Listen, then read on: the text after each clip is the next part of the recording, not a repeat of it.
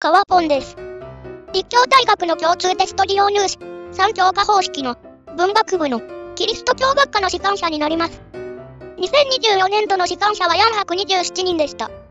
2023年度の士官者は40人でしたので、10倍を超える、ものすごい上昇率です。2023年の11月の河合塾の予想ボーダーは74%と、かなり低めでした。これは、この段階では、G マーチの文系の学部の中では、一番低いボーダーとなっていました。しかし、その約2ヶ月後の2024年度の1月の予想ボーダーは、84%に跳ね上がっていました。